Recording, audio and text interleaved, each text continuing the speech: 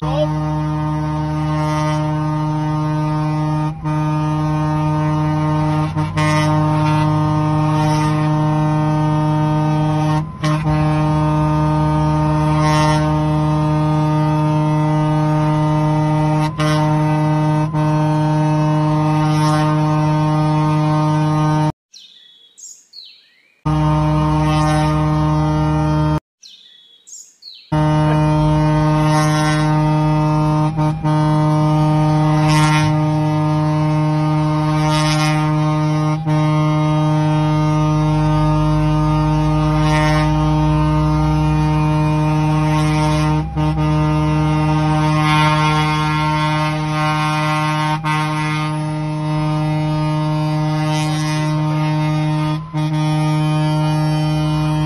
Dobra, blokujemy cały pas i zostawiamy tylko awaryjny.